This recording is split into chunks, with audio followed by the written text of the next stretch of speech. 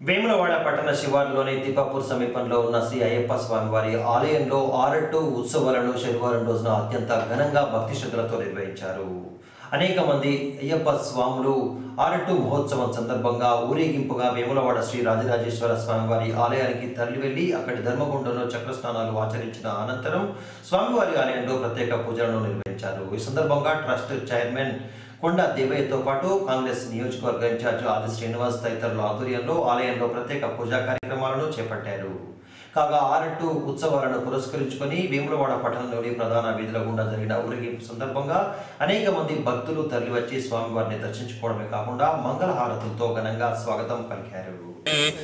దక్షిణ సమర్పయామి హిరణ్యపాత్రం మధో పూర్ణాథోపనిలయంతా నీరాజనం దర్శయామి నీరాజనాంతం శుద్ధా చమన్యం సమర్పయామి. తీసుకురా. అట్లకెళ్ళి తీసుకురా.